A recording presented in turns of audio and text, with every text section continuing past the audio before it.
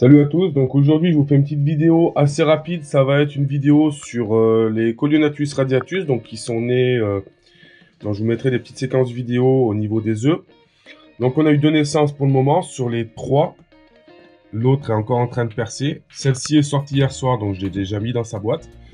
Et là on va mettre, euh, donc on va mettre la dernière en fait dans sa boîte, enfin l'avant-dernière en fait, parce que l'autre n'est pas encore sortie. Alors, qu'est-ce que je pourrais dire dessus? Déjà, comportement par rapport à un Pantherophis gutatus ou de la couleuvre américaine, euh, certaines autres couleuvres. Couleuvre asiatique, c'est beaucoup plus vif et tout de suite sur la défensif, euh, beaucoup plus craintif. Vous allez voir, dès que j'ouvre la boîte, si je rentre un doigt, tout de suite, elle va essayer de...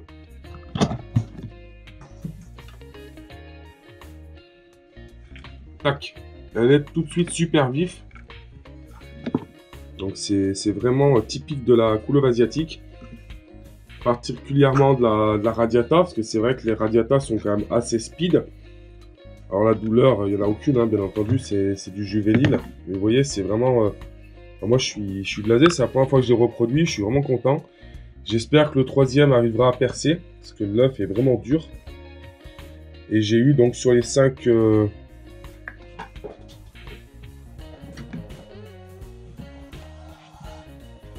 Donc j'ai eu sur les 5 œufs, euh, donc 2 euh, qui ont moisi.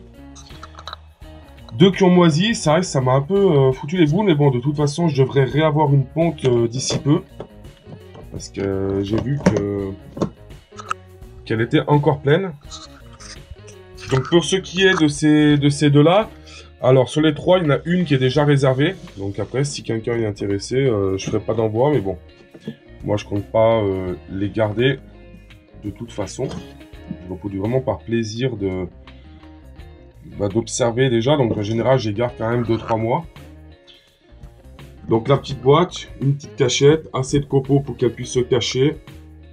Un bac d'eau un peu plus grand que pour la Pantherophis gutatus. Elles vont être dans des boîtes comme ça pendant à peu près un mois. À partir de leur première mue, on fera le nourrissage. Donc je ferai une petite vidéo au niveau du nourrissage. On va attendre la première mue. là, elles ont absorbé donc, le sac vitolin qui était dans l'œuf. Donc, euh, ce qui va laisser le temps euh, jusqu'à la première mue, en fait, de bah, tout simplement de les avoir, euh, d'avoir des réserves. Ce que je vais faire, c'est que je vais les sexer. Comme ça, j'aurai le... Bah, comme ça, j'aurai le sexe, tout simplement. Alors, je vais essayer de caler la caméra. J'ai pas pris le trépied. Je sais pas si je vais arriver à la caler. Pour vous montrer.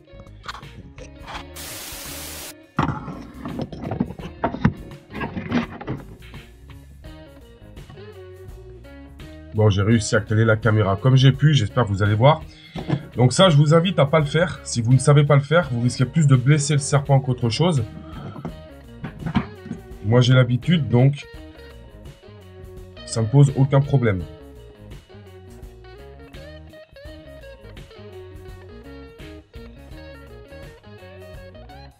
Donc là, on a un joli mâle. Donc je ne sais pas si vous avez vu sur la caméra, j'essaye de... C'est assez speed, c'est vraiment marrant. Vous voyez, je sais pas si vous voyez les hémipénis. Voilà, on va pas l'embêter plus. On va la laisser tranquille, enfin le laisser tranquille pour le coup, vu que c'est un mâle.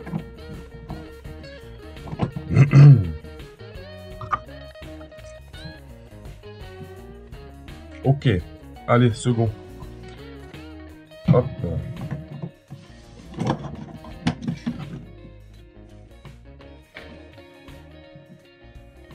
À mon avis,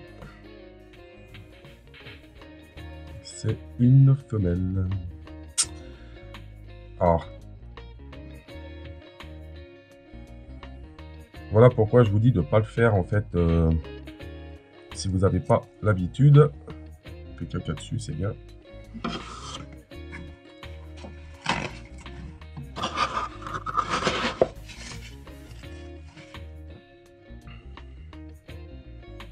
Alors, beaucoup plus vif qu'une goutte, hein. c'est vraiment impressionnant.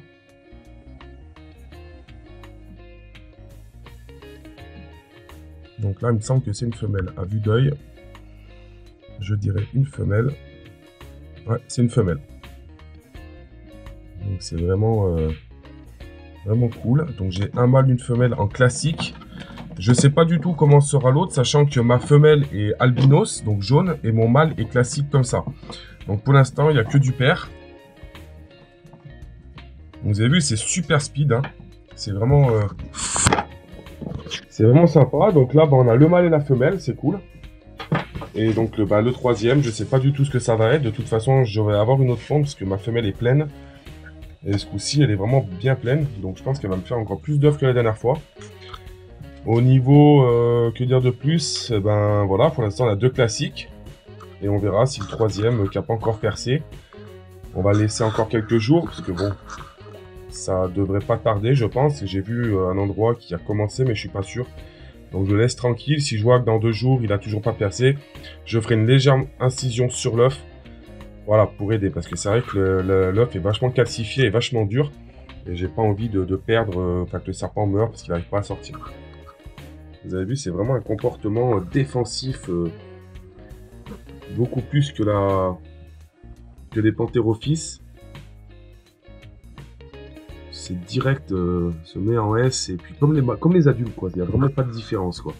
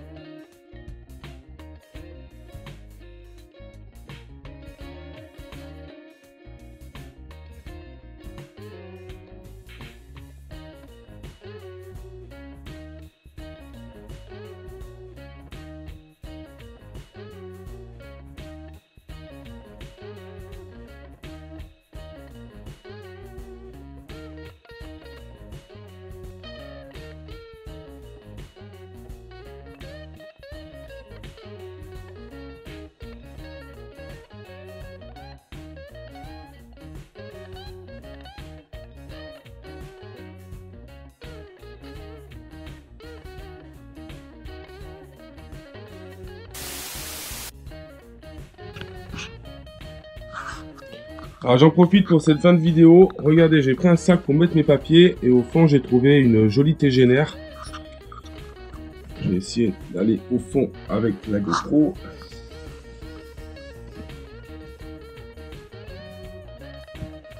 je vais la récupérer et puis je vais la mettre dans son terrarium. Par contre, je sais pas si je vais y arriver euh, avec la GoPro. Alors attends. Je viens de réussir à la mettre. Bon, elle vient me, elle me mordre le doigt. Mais c'est pas grave. Je vais essayer de faire un gros plan. Elle est super belle. Donc là, je vais aller faire un petit tour dehors. Je vais lui chercher 2 trois bouts de branches. Et puis on va...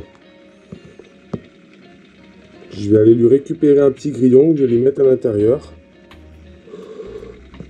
Elle est super belle. C'est cool. il me semble que c'est une tégénère. Hein. Je vais quand même me renseigner. Je vais voir si je me trompe pas. Dites-le moi en commentaire si, euh, si je me trompe. Il me semble que c'est ça, parce que j'en ai pas mal chez moi. Cool. Cool, cool. J'en profite en même temps euh, pour vous montrer, donc là, comme on arrive euh, sur euh, le printemps donc, et l'été, tout ce qui est brûlé, je les passe donc à la tourbe de coco. Alors, pourquoi je le fais pas en hiver? Souvent on me demande, oui, tu mets des copeaux en bois. Alors oui, je préfère les copeaux en bois. Par contre, l'été, le problème, c'est que sinon, euh, dans ça, ça va, je, vais, les humidifie en général. Donc, ça va me laisser déjà une bonne hygrométrie au niveau du, terrarium. Donc, un minimum d'hygrométrie, on va dire, parce que bon, euh, c'est pas le but recherché. Mais au niveau du, du, supra-coco, donc au niveau euh, point froid, vu que les bois et les pitons que j'ai vont souvent dans l'eau, font déborder un peu l'eau, ça garde toujours un peu une fraîcheur au niveau du point froid. Donc c'est pour ça que je le passe souvent en été. Euh, en hiver, j'ai pas de souci avec mes copeaux. Mais l'été, je passe mes terras, donc dès que je nettoie, en fibre de coco jusqu'à à peu près septembre-octobre, où je repasse avec euh, mes copeaux. Voilà, c'est une petite parenthèse, euh, petite parenthèse en fin de vidéo comme ça, vu que je suis en train de le faire. C'était cadeau.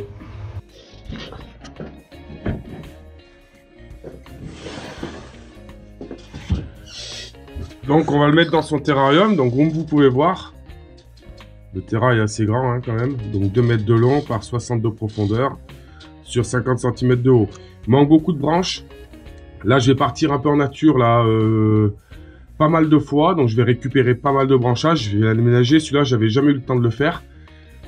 Euh, pour les cachettes, oui il y en a deux, c'est pour vous faire plaisir. Bon, je sais très bien qu'il va rester sous celle-ci de toute façon.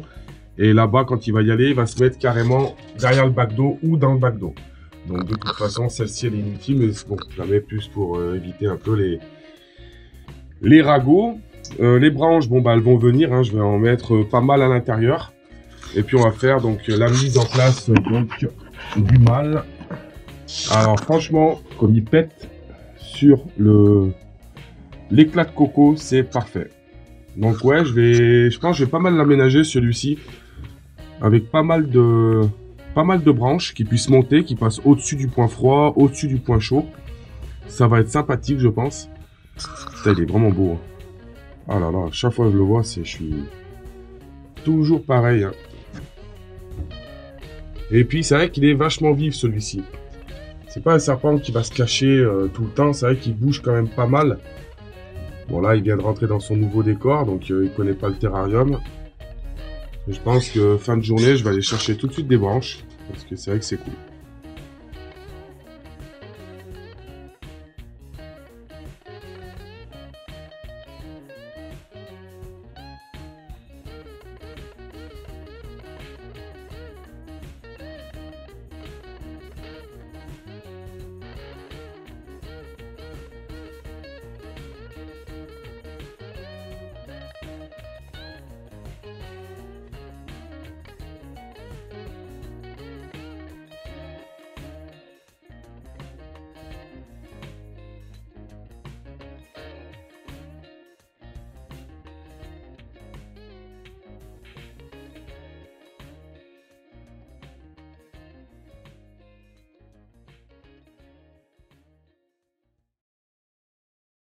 Donc petit bonus de fin de vidéo, vu qu'elle n'est pas encore sortie, je vais pouvoir vous montrer la dernière.